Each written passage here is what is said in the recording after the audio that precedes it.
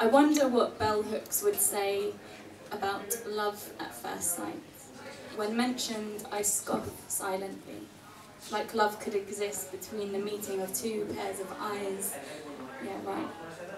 It's just lust, just physical and sensual, but then I wonder if love and pain cannot coexist. If love hurts, it won't work. If love doesn't know whether it loves or not, if love is that is long is that love's biggest achievement, then maybe that first glance is the truest love you'll ever find.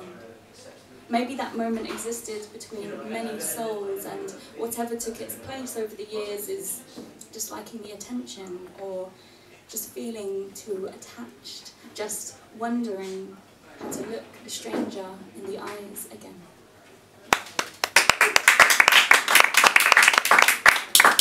Um,